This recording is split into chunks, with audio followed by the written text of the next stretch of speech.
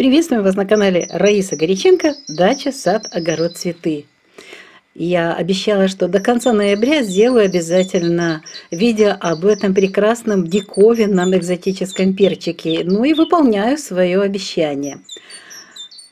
Этот перец Э, вот он уникальный по своей форме, вкусу и полезности.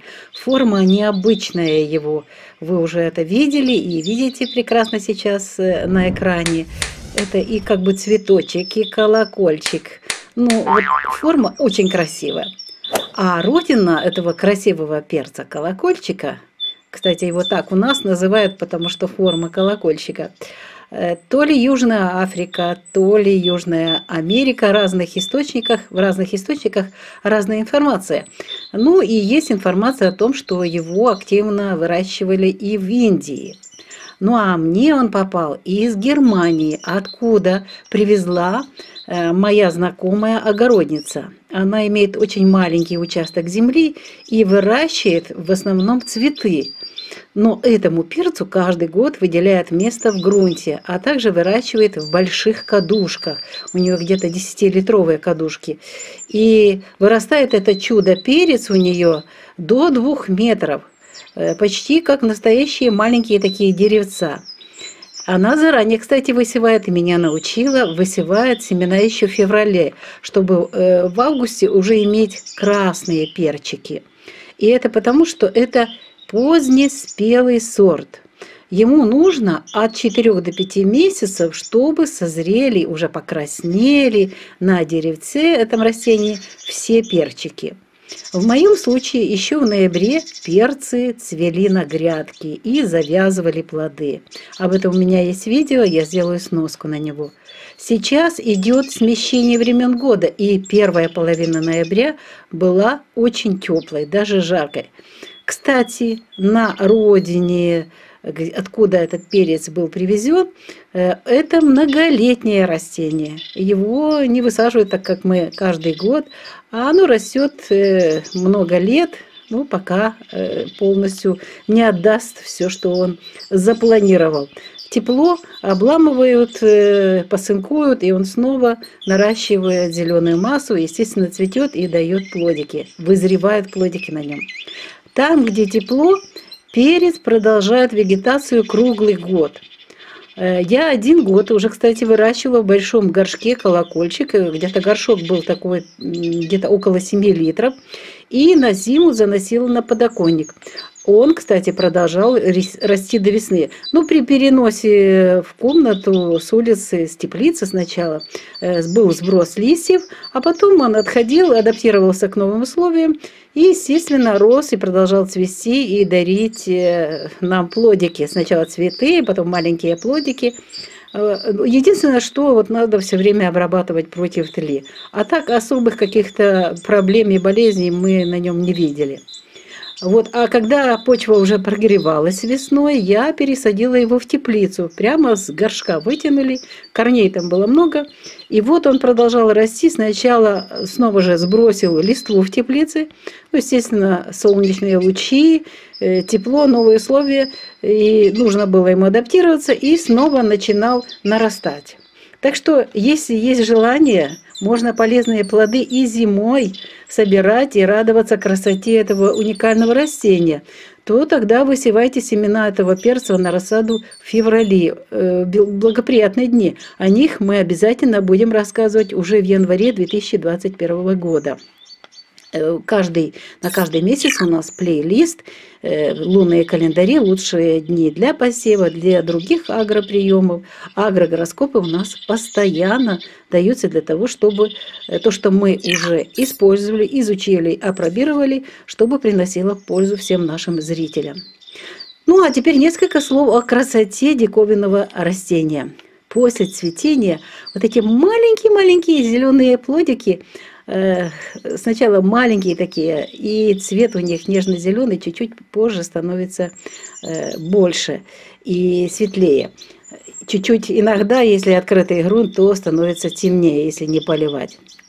И затем вот эти плоды вырастают до 2,5-3 сантиметров. Э, сначала набирают оранжевый цвет, а потом краснеет. в стадии полной зрелости перчики-колокольчики имеют уже насыщенно красный такой яркий цвет. Вес плодов колеблется от 30 до 100 граммов. Бывают и такие, если посынковать и формировать, то получаются и крупные плоды. Ну а теперь отвечу на вопрос о вкусе этого диковинного перчика. Когда он имеет зеленоватый цвет, то горькости, остроты, как у перца чили, не наблюдается. Мякоть у плода такая нежная, сочная, очень ароматная. На кухне становится во время обеда, когда мы к борщу его берем, к супу, и просто так, такой аромат, как вот у спелого э, красного перца.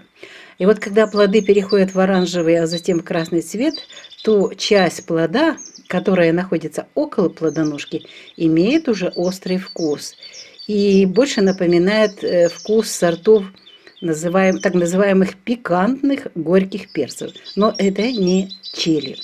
Внизу, где формируется сам цветок-колокольчик, стенки становятся толще и мясистее. Ну а вкус а вкус нежно, сладко, кислые нотки такие наблюдаются. Аромат, как у сладкого перца. Вот в этом и особенность этого заморского диковинного перца-колокольчика. В этом красивом плоде колокольчики объединены и вкусовые качества очень хорошие, и вкусовые качества и острого, но пикантного перца, и сладкого. Вот эти особенности цены для потребления, для потребления этого перца в пищу. Кстати, исследователи э, воздействия плодов этого перца считают, что потребление перцев колокольчиков имеет ряд положительных качеств на организм человека. В первую очередь они отмечают, что в плодах много витамина С есть и другие витамины. А вот именно э, витамин С, вот эта кислинка, которую мы ощущаем, вот этот витамин повышает иммунитет человека. Важен, второй важный компонент э, полезности – это благотворное влияние на работу сердечно-сосудистой системы. Прогоняет очень хорошо перчик в сосудах кровь, э, выводит, кстати, из организма плохой холестерин – и, кстати, успокаивает очень нервную систему. Э, укрепляет кости, ногти, волосы, стимулирует работу э, мозга нашего, улучшает зрение, ну и э, снимает стресс, избавляет от бессонницы и плохого настроения. Вот это то, что отмечают исследователи перца. Ну а я хочу добавить, что ко всем этим плюсам и другим плюсам еще и в плодах есть очень много важных ценных микро-макроэлементов. Так вот, очень важно вот этот позитив, вот это настроение, э, такие солнечные эмоции возникают, когда смотришь на эти плоды. И начиная даже с момента цветения, цветочки красивые. Потом завязываются плоды, такие маленькие колокольчики. А потом они созревают, и такие очень-очень красивые получаются.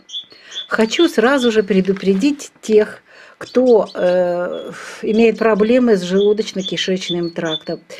Э, можно использовать зеленые плоды, но в небольшом количестве и как добавку к другим каким-то овощным растениям.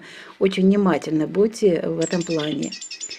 Ну, сегодня почти что на все вопросы я ответила. Нет, нет, нет. Вот еще вопрос об особенностях выращивания. Никаких дополнительных и особых условий это растение не требует. Выращиваю, выращиваю точно так, как и сладкий перец. Единственное, что выращиваю, высеваю пораньше. Э, ну, иногда как получается, прямо в теплице или же на окошке. А вот теперь все. Если будут новые вопросы, задавайте, будем отвечать.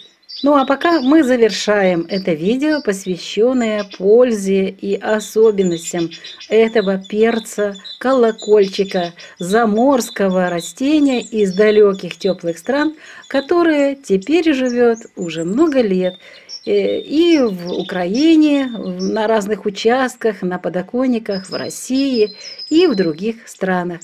Ну что ж, мы прощаемся с вами. Желаем вам удачи. До новых встреч в новых видео. Будьте здоровы и радуйтесь э, всему тому, что приносит вам позитив солнышку, э, новым вот этим просмотром видео.